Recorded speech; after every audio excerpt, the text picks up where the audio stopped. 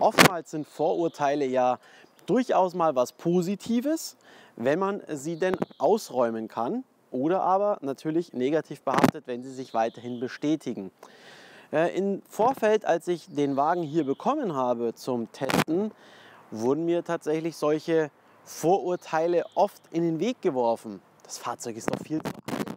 Was willst du denn mit dem? Naja, schon wieder so ein SUV wie ASX. Habe ich noch nie gehört. Was ist das?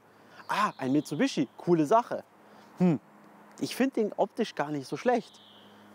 Tja, das waren unter anderem so die Kommentare, die mir so um die Ohren geflogen sind, als ich erzählt hatte, dass ich den Mitsubishi ASX zum Testen bekomme. Jetzt steht er nun hier. Ich bin jetzt fast zwei Wochen mit ihm unterwegs gewesen, habe ihn wirklich auf Herz und Nieren geprüft und stelle ihn euch heute einmal komplett vor. Wir schauen natürlich, was steckt hier unter der Motorhaube. Wir schauen, wie sind die Platzverhältnisse im Innenraum. Wie familientauglich ist der Wagen? Was kann in den Kofferraum rein? Und wie fährt er sich natürlich? Und am Ende kaufen oder nicht kaufen? Das ist dann die entscheidende Frage. So, damit herzlich willkommen bei Ubi Tested zu einem neuen Video über den Mitsubishi ASX. Und wenn ihr den Kanal noch nicht abonniert habt, dann tut es jetzt einfach mal kostenfrei. Kommentiert, vor allem mich interessiert, was ihr dazu sagt. Ich wünsche euch jetzt viel Spaß mit dem Mitsubishi ASX Top.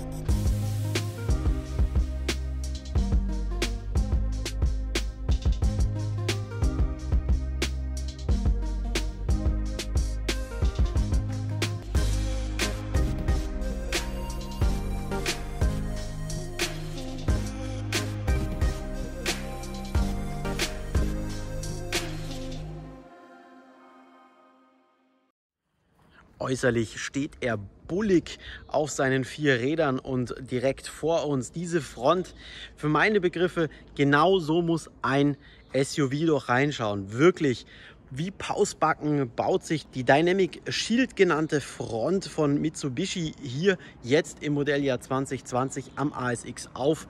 Die horizontal ausgerichteten Blinker mit Nebelscheinwerfern sorgen nochmal für so eine zusätzliche Breite in der Optik. Dann haben wir einen äh, massiv ausschauenden Unterfahrschutz hier, also typisch richtiger Offroad-Charakter. Es gibt jetzt übrigens Voll-LED-Scheinwerfer hier für den Mitsubishi ASX. Und da gibt es in dem Umfeld tatsächlich nicht viele, die Voll-LED-Scheinwerfer aktuell anbieten. Und das, obwohl wir hier ja eigentlich ein Auto vor uns stehen haben, was seit 2010 so technisch auf dem Markt ist. Hier hat man also wirklich gut die Modellpflege betrieben. Ein äh, sehr, sehr schönes Detail finde ich auch. Hier an dem Frontgrill hat man äh, die aus dem Zubehör erhältliche Folie mit Carbon beklebt. Schaut gut aus, macht einen optisch schönen Eindruck. Ein weiterer optischer guter Eindruck steht äh, hier im Radkasten. Das sind 20 Zoll Räder, liebe Leute. Und die gibt es auch so im normalen Zubehörprogramm bei Mitsubishi. Ich finde es cool, dass man das auf diesen 4,36 Meter Crossover draufgezogen hat. Steht ihm richtig, richtig gut. Genauso wie die schöne Blau-Metallic-Lackierung, die hier das Blechkleid nochmal strahlen lässt in der Sonne. Bodenfreiheit übrigens 19 cm. Das heißt also Feldwege oder ähnliches sind hier gar kein Problem. Gut, Böschungswinkel vorne ist ein bisschen fies. Das äh, könnte man eher lassen, aber hinten ist das wirklich ein sehr, sehr kurzes, knackiges Heck und auch sehr ansprechend gestaltet mit neuen Voll-LED-Rücklichtern, die wir hier sehen. Die sind sogar auch dreidimensional ausgeformt. Das erinnert mich so ein bisschen an BMW. Die machen das nämlich genauso, dass sie ihre Rückleuchten jetzt dreidimensional ausarbeiten. Der, am Heck sehen wir auch äh, das nächste schöne klassische Stilelement für ein Crossover. Ebenfalls wieder einen großen, dicken Unterfahrschutz in Silber angedeutet.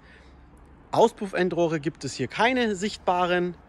Und äh, naja gut, die Nebelschlussleuchte, die ist wirklich so ein bisschen Japan-Style. Aber gut, jetzt schauen wir hinter die Kofferraumklappe, was sich da so noch verbirgt.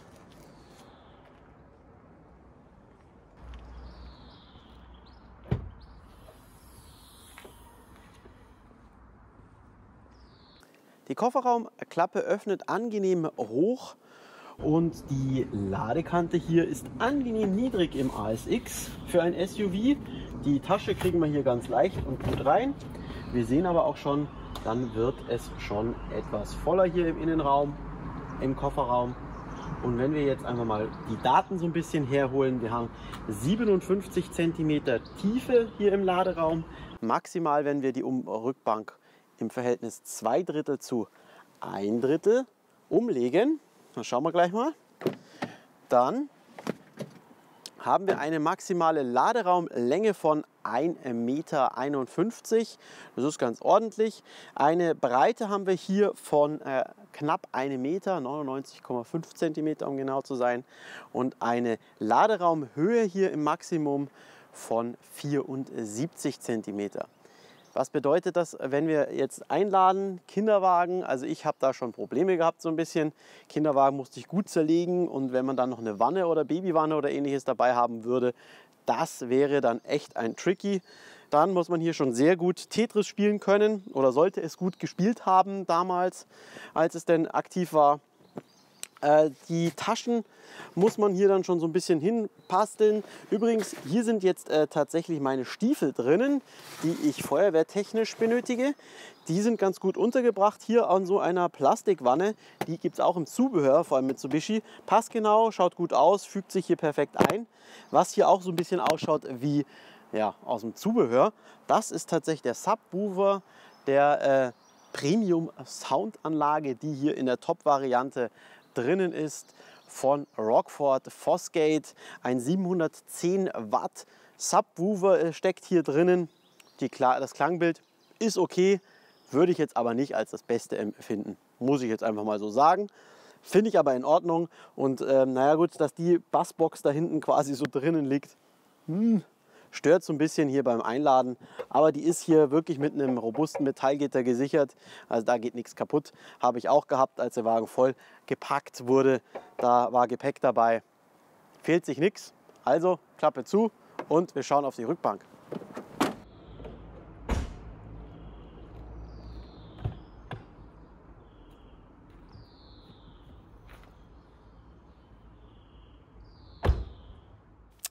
ASX erst einmal reinzukommen, ist in den Fond durchaus ein bisschen schwierig. Die Türen sind sehr, sehr schmal. Das heißt also, da muss man sich schon so ein bisschen so reinfalten.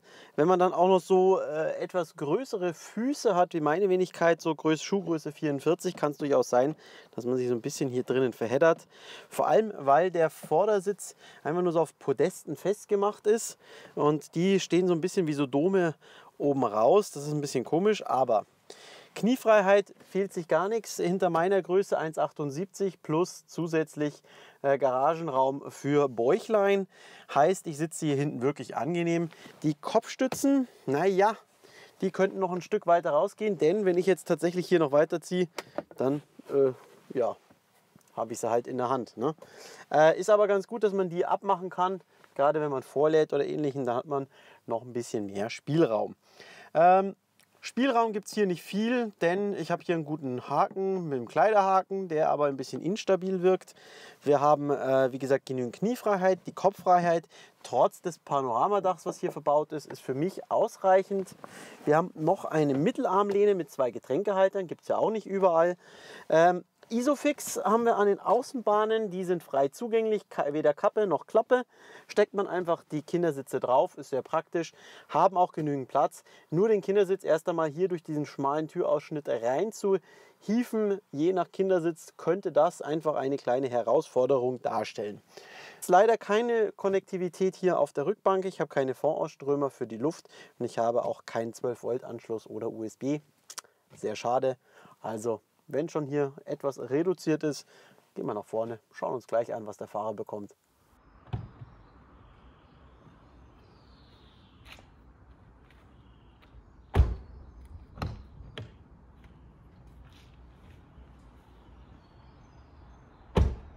Hinter dem Lenkrad sitzt es sich angenehm hoch. In der Ausstattungslinie Top, das ist die höchste Ausstattungslinie, die wir hier verbaut haben, da ist tatsächlich die Ledersitzausstattung vorbehalten, genauso wie das Glaspanoramadach und eben ein elektrisch verstellbarer Fahrersitz ohne Memory-Funktion. Dafür der Beifahrersitz ist nicht höhenverstellbar. Verstehe ich leider echt nicht, weil das könnte man auf alle Fälle mal machen. Ein höhenverstellbarer Beifahrersitz, Leute. Also das Mitsubishi, Leute, das hätte ich mir schon gewünscht. Ja? Aber okay, gut. Ich sitze hier sehr kommod. Ähm, die Sitze sind angenehm gepolstert, angenehm breit. Natürlich für eine breite Körperstatur wie mich sehr gut. Es gibt keine Lordosenstütze habe ich jetzt auch gedacht, ist nicht so gut. Aber ich bin 700 Kilometer am Stück mit dem Auto gefahren, die Nacht durch, fehlt sich nichts. Äh, konnte ich gut aussteigen, musste mich zwar ein bisschen ausfalten, aber gut, das ist ja normal, wenn man so viel fährt. Aber Rückenschmerzen hatte ich keine und ich bin da gelegentlich mal ein bisschen anfällig für. Also fehlt sich nichts. Das Lenkrad ist in Höhe und Tiefe verstellbar. Das hat manch Konkurrent so nicht. Das finde ich schon mal sehr gut. Da findet jeder seine Position und ähm, wenn wir schon die Position gefunden haben, schauen wir uns doch jetzt einfach mal den Innenraum ein bisschen an. So sieht es hier drinnen im Mitsubishi ASX aus, wenn wir als Fahrer auf unser Cockpit schauen. Das lassen wir jetzt hier über den Startknopf einmal zum Leben erwecken. Wir starten auch den Motor, damit die Klimaanlage läuft denn es hat doch ein paar Grad plus da draußen. So, klassisches äh, Dreispeichen Lederlenkrad, so eine kleine hochglänzend schwarze Applikation hat man hier reingezogen, um das Ganze ein bisschen aufzuwerten. Schaut ganz nett aus. Bin jetzt aber trotzdem kein Fan von diesen schwarz-hochglanzleisten. Wir haben hier die Lautstärkenregulierung oben unten, Skippen der Tracks, Spracheingabe, Telefon annehmen, auflegen, Tempomat auf der rechten Seite, Kombi-Instrument besteht aus klassischen Rundtuben, analoge Anzeigen, finde ich gut, wunderbar ablesbar, fehlt sich gar nichts. Bordcomputer hier drinnen und der wird hierüber gesteuert. Das Gepiepse übrigens ist normal bei japanischen Autos und das werdet ihr hier drinnen des Öfteren hören. Das kann einen durchaus mal ein bisschen auf den Keks gehen, das muss ich zugeben. Na gut. Aber ich persönlich habe mich jetzt nach 14 Tagen daran gewöhnt. Dann sehen wir hier den Fernlichtassistenten, den wir aktivieren können. Dann Lichtsteuerung einfach auf Auto. Der Rest ist hier Nebelscheinwerfer, Nebelschlussleuchte. Blinker ist klar. Dann auf der rechten Seite haben wir dann den Wischerhebel. Eine Stufe runter gehen wir auf Auto und ziehen ist die Waschanlage. Dann können wir hier noch den Regensensor von seiner Intensität einstellen und drehen ist dann tatsächlich hier für den Heckscheibenwischer. Auf der linken Seite Fahrassistenz haben wir den Auffahrwarner. Dann haben wir den Spurhalteassistenten, ein Spurverlasswarner besser gesagt. Und dann haben wir hier die Einparkhilfe, die wir deaktivieren können und den toten Winkelassistenten ganz gut. Der tote Winkelassistent, der ist tatsächlich hier im Spiegel schon zu sehen, leuchtet dann orange, wenn etwas ist und blinkt, wenn ihr den Blinker setzt und etwas im Außenspiegel im toten Winkel zu erkennen ist. Herannahender Verkehr wird übrigens auch erkannt. Dann haben wir die Zentralverriegelung, versperren, dann hinten tatsächlich die Fensterheber blockieren. Wir können unser Außenspiegel elektrisch anklappen. Einstellung, es ist alles soweit selbsterklärend. Einklemmschutz haben wir nur auf der Fahrerseite, das heißt eine Automatik für die Fensterheber ebenfalls nur auf der Fahrerseite. Da unten sehen wir die Edelstahl Sportpedalerie, die auch mit dem Topmodell kommt. Sieht ganz gut aus, gibt auch bei der Bedienung keine Probleme. Dann sehen wir hier das optionale 8 Zoll Mediasystem, was hier verbaut ist in der Top-Variante. Hier steht es auch nochmal drin, Rockford Fosgate hängt da mit drinnen für die Soundanlage. Das Ganze ist TomTom basiert.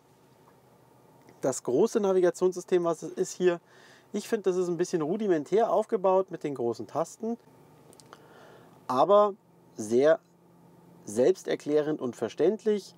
Wir haben zudem auch tatsächlich ein DAB-Tuner, was ich mir auch sehr lobe. Wir haben zwei USB-Anschlüsse, die wir dann nutzen können. Bluetooth, Audio, iPod, natürlich auch FM, AF. So, dann haben wir hier das Navigationssystem, übrigens TomTom basiert. Sehr schade finde ich, dass er sich die Einstellungen nicht merkt, denn er startet immer so. Ich möchte es aber fahrtrichtungsgebunden und eigentlich möchte ich dann auch ein bisschen reinzoomen, dass ich mir das irgendwo sehe. Aber es reagiert angenehm schnell, das muss man sagen. Ich habe aber bis jetzt Apple CarPlay hier lediglich genutzt zur Konnektivität. Darunter die Klimaautomatik, ein Zonen, völlig ausreichend, ganz klar zu erklären. Umlufttaste haben wir hier, Temperatur, Auto, Lautst äh, Gebläseeinstellungen off oder auf Auto oder eben manuell, Klimaanlage an oder aus und die Verteilung der Luft nach oben, unten, Auto, je nachdem, wo ihr es hinhaben wollt. Dann haben wir hier unten die zwei USB-Anschlüsse, auch für Apple CarPlay und Android Auto. Sitzheizung Low und High heißt es gibt sowohl zwei Stufen, dann Traktionskontrolle ausschalten und Start-Stopp ausschalten, 12 Volt Anschluss, Ablagefach gummiert, fehlt sich nichts, gibt aber keine Induktivladeschale. Dann der etwas lange Schaltknauf, Schalthebel hier für das 5-Gang Handschaltgetriebe, was hier verbaut ist. Dann sehen wir hier zwei Getränkehalter, eine manuelle Handbremse, eine Mittelarmlehne, die aber nicht verschiebbar ist, aber dafür zu öffnen.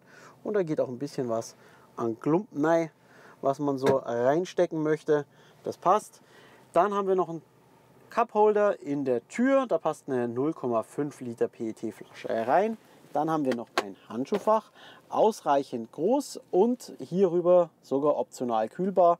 Deaktivierung für den Beifahrer Sitz-Airbag finden wir dort. Ja, ein kurzer Rundumblick noch einmal für den Fahrer. Wir haben große Fensterflächen und können da auch wunderbar rausschauen. Da fehlt sich nichts. Finde ich gut. Das Panoramadach, was wir hier haben, lässt sich hier dann öffnen. Wie wir sehen. Und was es hier noch gibt, ist die Taste für die Ambientebeleuchtung, die dann tatsächlich hier oben drinnen ist und in der Nacht noch ganz hübsch ausschaut. So, hübsch ausschauen ist ja das eine. Wenn der Motor schon läuft, würde ich euch sagen, erkläre ich jetzt euch, was unter der Motorhaube steckt. Unter der Haube gibt es lediglich einen Motor für den Mitsubishi ASX und das ist der hier. Ein 2 äh, Liter Vierzylinder Saugmotor. Ja, ohne Direkteinspritzung, ohne Aufladung.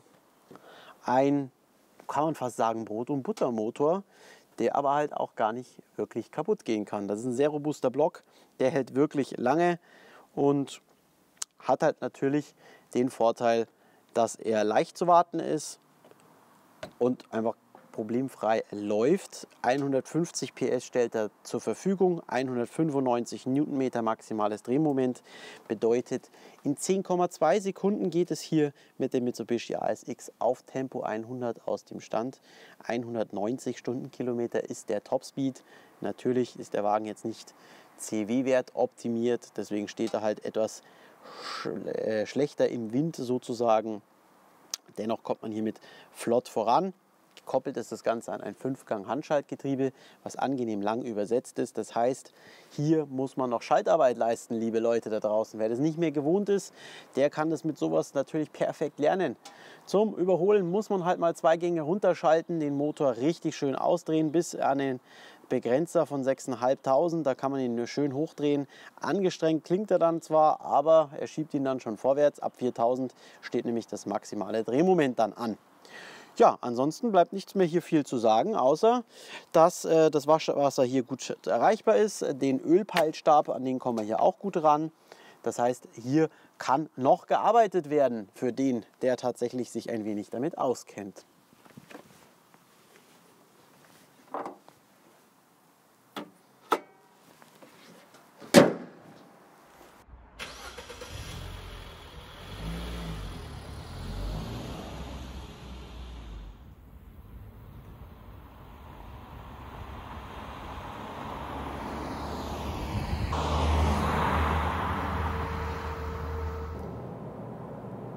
Starke Charaktere sind durchaus immer umstritten. So ist es ja auch jetzt beim Mitsubishi ASX.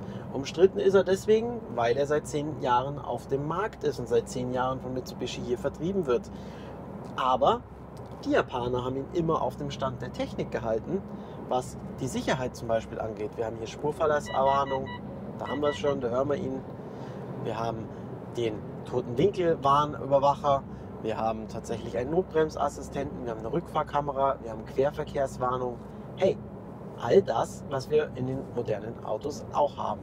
Lediglich Sachen wie Kombi-Instrument mit analogen Instrumenten, ein vielleicht etwas altertümliches Mediasystem oder aber eben der Motor, der unter der Haube ist und nur ein nach dem Saugerprinzip arbeitet, ohne Aufladung. Ja, das fühlt sich am Anfang erst einmal boah, schwachbrüstig an. Ist es aber nicht. Die 150 PS brauchen halt einfach Drehzahl. Man muss einfach den langen Schalthebel hier durch die Gassen führen. Die Rasten einwandfrei, ist leichtgängig zu schalten. Die Kupplung ist auch leicht zu bedienen. Wenn man das macht, dann geht der ASX auch ordentlich voran im normalen Betrieb. Auf der Autobahn natürlich geht ihm dann die Puste aus, gerade an starken Steigungen. Da muss dann schon mal zurückgeschaltet werden. Da muss man sich dann schon gut überlegen, ob man wirklich 1,3 Tonnen hier, die man maximal mit an den Anhänger äh, Kupplung nehmen darf, ob man das tun sollte. Ich glaube, da wirklich ist er als Zugfahrzeug jetzt nicht so geeignet in meinen Augen. Aber gut, das könnt ihr ja vielleicht da draußen beantworten. Die Mitsubishi Community wird es definitiv besser wissen. Gerne unten in die Kommentare mal schreiben, nutzt ihr das Fahrzeug als Zugfahrzeug und wie taugt euch da der Antrieb?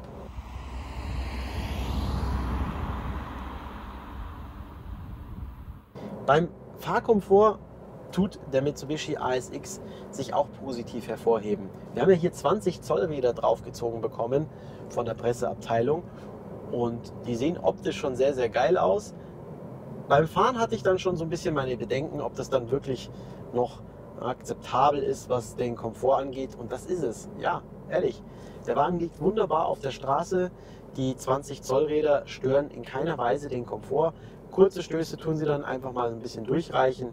Aber ansonsten normale Kehrflicken oder Straßenunebenheiten werden wunderbar ausgebügelt vom Fahrwerk. Da fehlt sich gar nichts.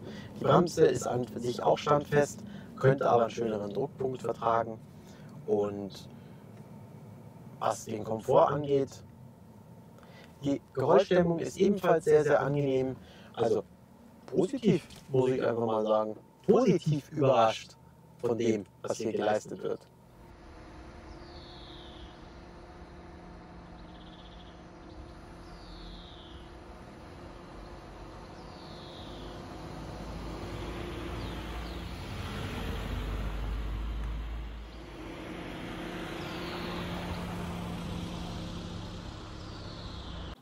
Ein letzter Blick hier in die Preisliste vom ASX, denn genau das macht man ja am Ende, wenn man sich entscheiden möchte, ob man ein Auto kauft oder nicht. Das Prädikat kaufen bekommt der ASX und das, obwohl das Auto ja ach so alt ist. Ha, tja, ach so alt bedeutet halt nun mal nicht, dass es schlecht ist. Und genau das ist der ASX eben nicht.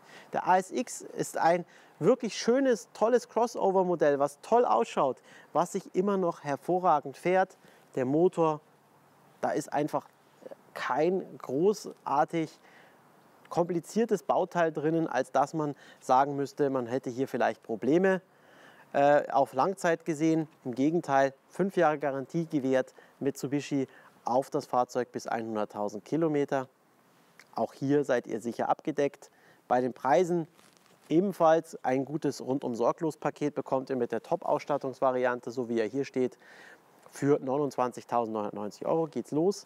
Dann kommt noch die Metallic-Lackierung on top dazu. Die 20 Zoll Räder könnt ihr über den Zubehörkatalog bestellen und dann montieren lassen. Finde ich auch eine gute Option. Stehen dem Wagen sehr, sehr gut. Sorgt dafür, dass das die Optikpaket, was hier Mitsubishi jetzt geschnürt hat zur Modellüberarbeitung 2020, einfach nochmal stimmiger ist.